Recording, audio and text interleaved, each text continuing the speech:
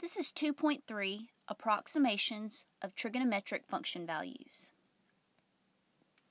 We have to use approximations of trig function values whenever our trig function has an angle that is not a quadrantal angle, it's not a 30 degree, 45 degree, 60 degree angle, and the angle's reference angle is not 30, 45, or 60 degrees. The most important thing that you can remember when we're using our calculator is to make sure that you're in the correct mode, either degrees or radians, depending on what type of measurement you're needing. Now, the calculators that we're going to be using in finding these approximate values are the two that are allowed in this course the TI36X Pro or the TI30X IIS. And I'm going to show you how to use both of those. So to approximate the value of each expression to the nearest 10,000th, first of all, if we see the little degree symbol, then we're going to um, know that it, your calculator needs to be in degree mode. So to find the approximate value of each of these, I'm going to show you what it looks like with the camera. Okay, so this is the TI36X Pro. If you have this calculator, let me turn it on um, you need to make sure that you are in degree mode. So you can see right here in the screen um, what mode you're in. So it says that I'm in degree mode. If you were not in degree mode, if you're in radians, then you just press the mode button, which is this button right here, and you see degree is highlighted. If it were on radians, then um, you would just scroll using the little um, silver scroll buttons. So this scrolls, you know, uh, if we wanted it to be in radians, we would go there and hit enter. But we want it to be in degrees, so I can get out of that by pressing second and quit. And then to find the sine of 38 degrees, so here are our sine, cosine, and tangent buttons. So we would just press sine and then 38. So it's in degrees. We can close the parentheses or not. Um, in this case, it really doesn't matter. And they want us to approximate the value to the nearest 10,000th. Okay, so that would be um, 0 0.6, one, so it's 156, so we need to round up, so it would be 1616 um, would be the value of the sine of 38 degrees.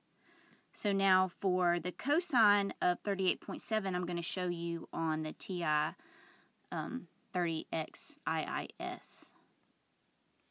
Okay, so this is the TI 30X IIS. And again, on the screen, you can tell what mode you're in. So if you look on the screen here, um, I know it's hard to see. This is actually in radians.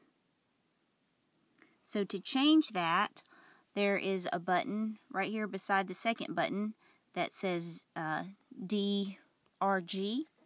So if we press that, it's on radians right now, so I'm just going to scroll over using my arrows and then hit enter. Hit the enter button down here. And that puts it in degrees. And so now you can see um, in the on the screen that it's in degree mode. Okay, so we're going to find the value of the cosine of 38.7 degrees. Okay, so we just press the cosine button and 38.7 um, 7 and hit enter.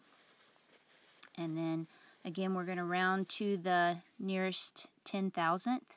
So this would be 0 0.780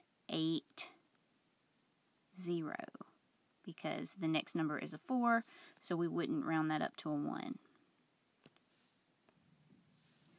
Now, to find the tangent of 38 degrees, 7 minutes 29 seconds, instead of changing all of that to um, doing the conversion and changing it to decimal degrees, we can put it straight in the calculator in on this TI-30 XIIS, if we press tangent and then 38, there is a little button here that's got um, the degree mark, the minute mark, and the second mark on it. So if I press it once and hit enter, that puts that's the degree.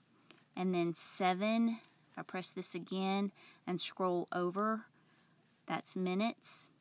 And then 29 seconds. So I'll press it again, scroll over twice um, to get to the seconds button. And I get 0, um, 0.78,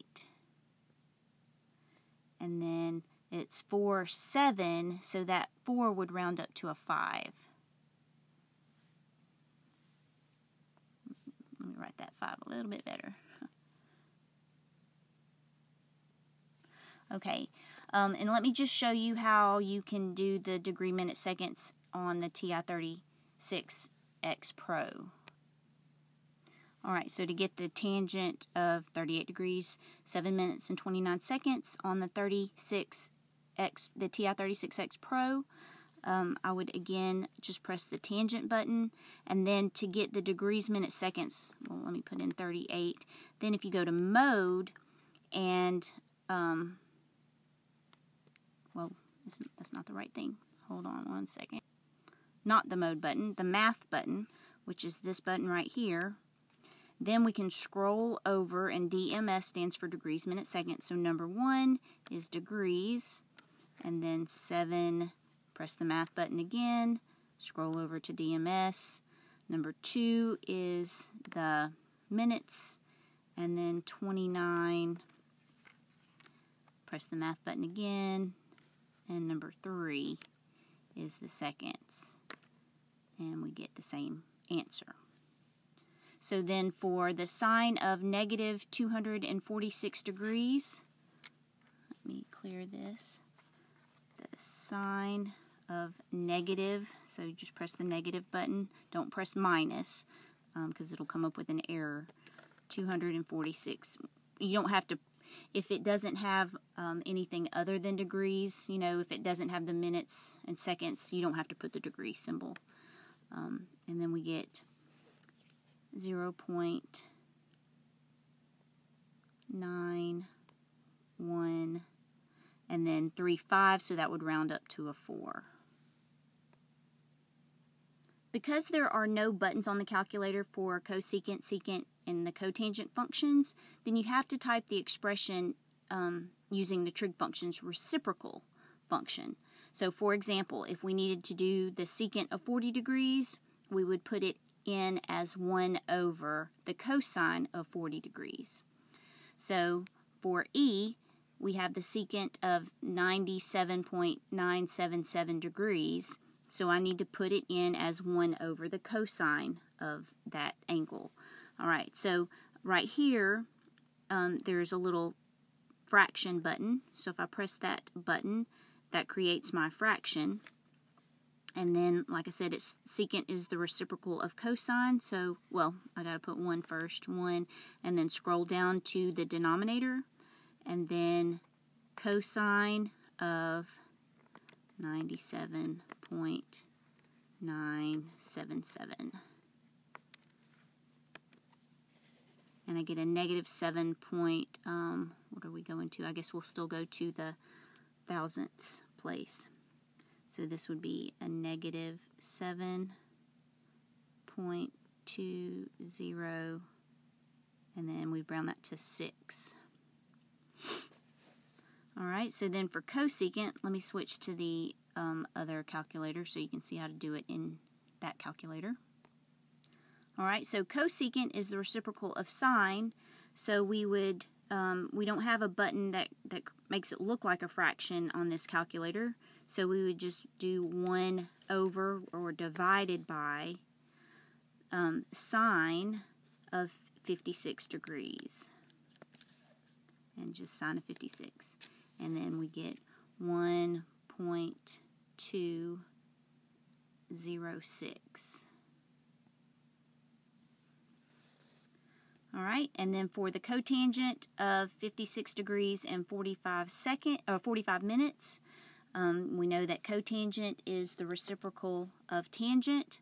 So again, we would just do 1 divided by, and um, it would be tangent of 56. Now, since it's got degrees and minutes, we need to put the degree symbol. Um, oh, wrong thing. Let's see. Oh. Right here, the degree symbol. And then 45. Again, go here and scroll over to minutes and close my parentheses. Okay, and then I get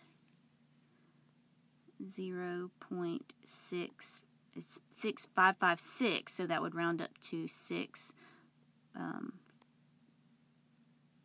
656 all right.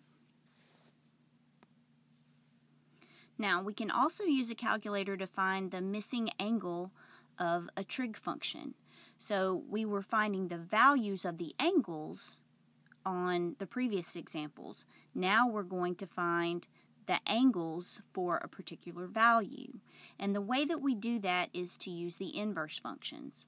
So the little negative 1 that you see um, in these values here,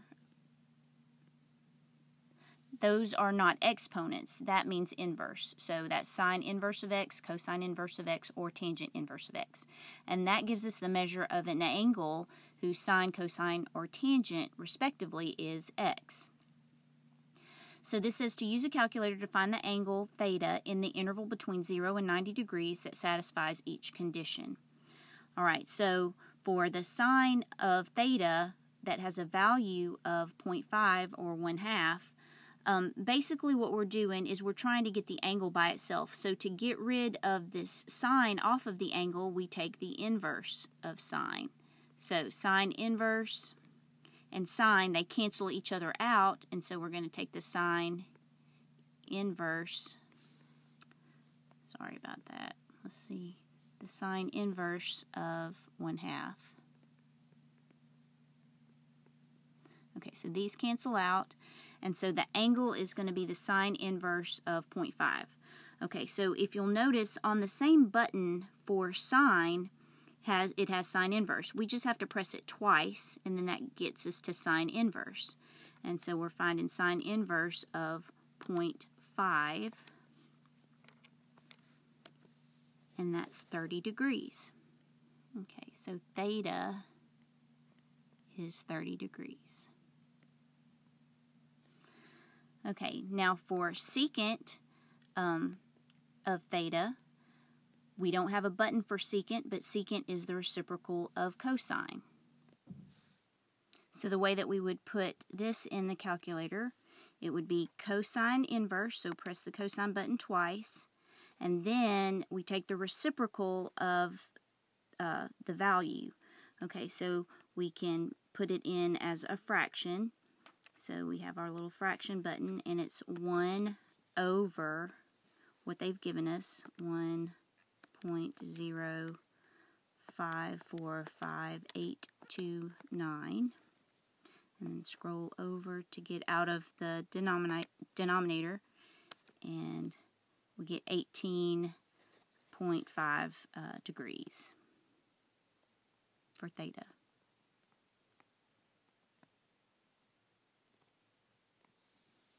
All right. Let me see. Okay, and then for the tangent of um, theta, we just do its reciprocal. Uh, I mean, not the reciprocal, the inverse of tangent. Okay, so tangent, if we press it twice, we get tangent inverse, and just put in um, what they've given us, 0.577350 and we get 29.999 repeating, so that would just round up to uh, 30 degrees. And that's how we use our calculators to approximate the values of the trig functions.